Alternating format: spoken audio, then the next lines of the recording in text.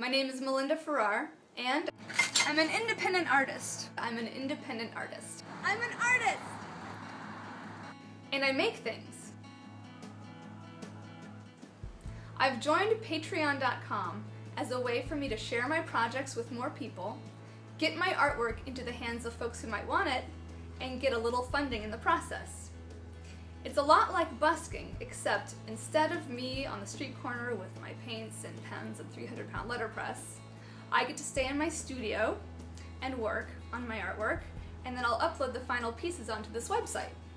And then you can tip me, if you want. Only if you want. Here's where it gets cool. If you decide to throw a few dollars my way, you will get artwork thrown back your way. I mean, okay, I won't actually throw the artwork at you. I'll email you or I'll go to the post office or something.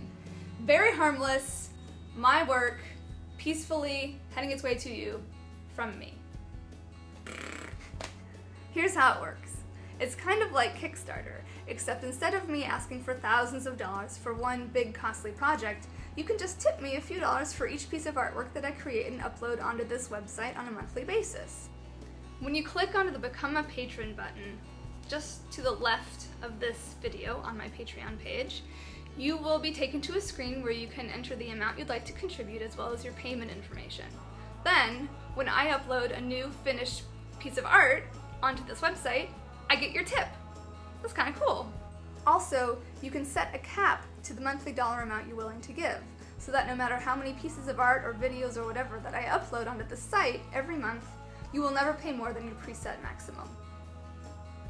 It's a great way to help fund independent artists and get cool stuff in return. In fact, I think it's what scientists call a win-win situation. And of course, you can cancel your patronage at any time, no problem.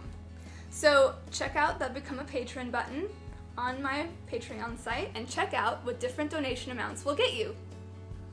Hint, it's artwork. And feel free to click on the links right above my head for updates and artwork. And thank you! Thanks for watching. Thank you. Oh, wait, B wants to be in the video. Okay, thanks again. And um,